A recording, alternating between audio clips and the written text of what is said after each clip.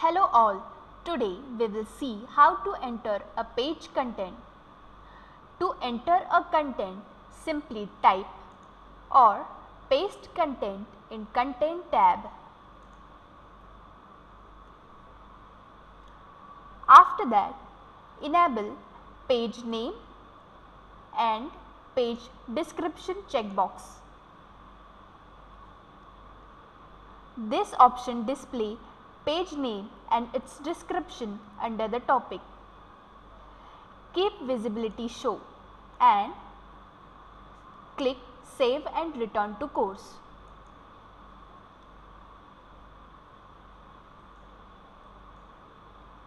As you can see, our page and its description has appeared under topic 2 section.